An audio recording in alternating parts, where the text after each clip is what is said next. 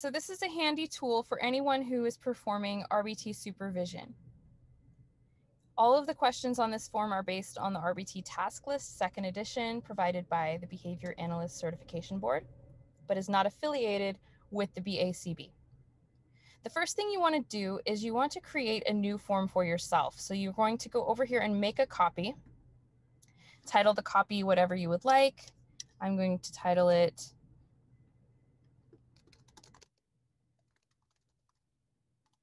Alicia's copy of RBT supervision log. This is going to be the copy that I use and submit from my phone each time I complete a supervision training. So the first thing I'm going to do on my form is I'm going to edit the names of my RBTs.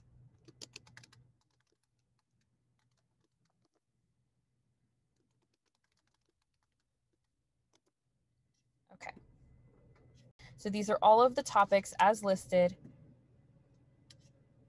on the task list for RBTs, exactly as listed. In the next half of this video, I will show you how this works coming from your cell phone. There we go.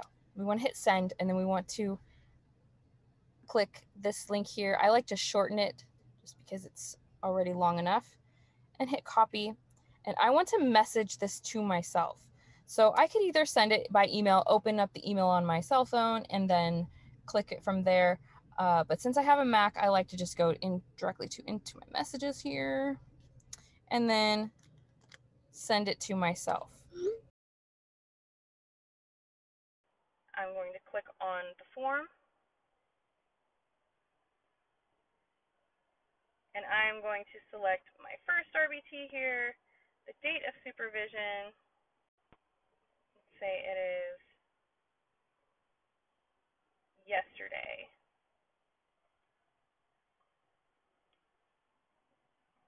The time of supervision, we'll say it was at 11. And I supervised for two hours. It was a direct observation. Did we do any measurement? Yes, preparing for data collection, entering data and updating graphs, describing behavior in, in let's say, an ABC form, and RBT 1 was able to correctly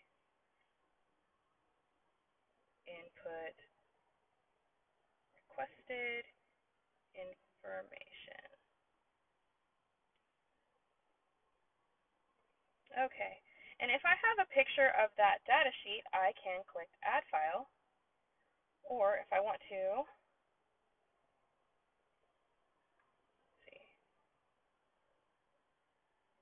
take a photo or video, I can click Take Photo or Video.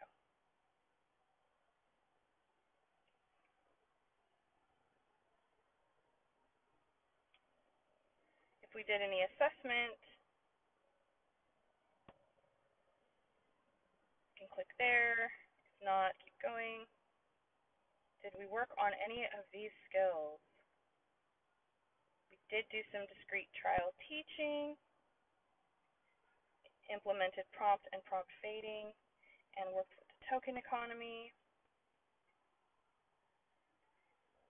Any, any comments if I want to add those, or photos of any of that work. Hit next. Did we work on behavior reduction? We have been implementing extinction procedures. Staff understand the common functions of the behavior. Next, this RBT effectively communicates ongoingly. I like their ABC data. They're very objective. And next. This RBT always responds appropriately to feedback.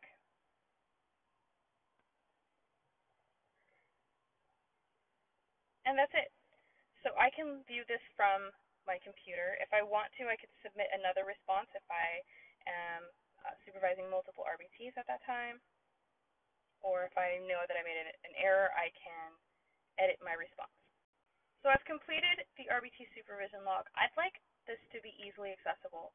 I'm going to press this button here at the bottom, and I'm going to add to home screen.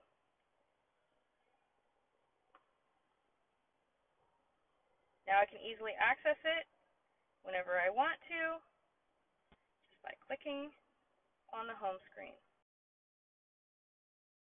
Now that I have submitted responses from my phone, I can click on responses and then go right here to create spreadsheet.